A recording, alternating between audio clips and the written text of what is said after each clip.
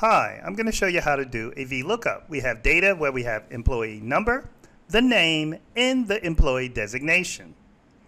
We are going to create a lookup function where we're going to put that lookup function in G6 and we're going to keep our lookup value in F6. You can use the insert function to find the VLOOKUP formula so we can see all the arguments of the formula, which is a lookup value, table array, column index number, and the range lookup.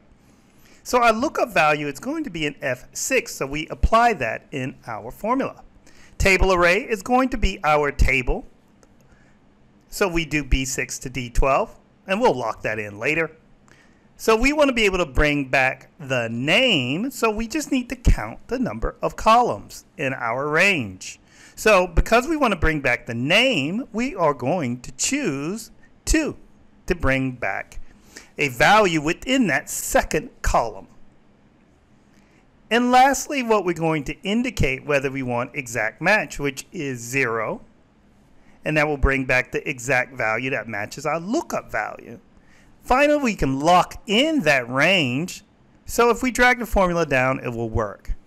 Now we have NA because we don't have a lookup value that we put in F6. So let's try 1001 and that will be mark. We can add another lookup value and return a different result. So 107 is going to bring back Steve. Now, if we wanted to bring back a different designation from the third column, we would need to change that value. So we go back up to insert function. And what we need to do is just change the column number. So all we need to do is go from column 2 to column 3. And this will bring back a different result. And you can see in the indicated values that that's going to be the deputy manager for employee number 1007.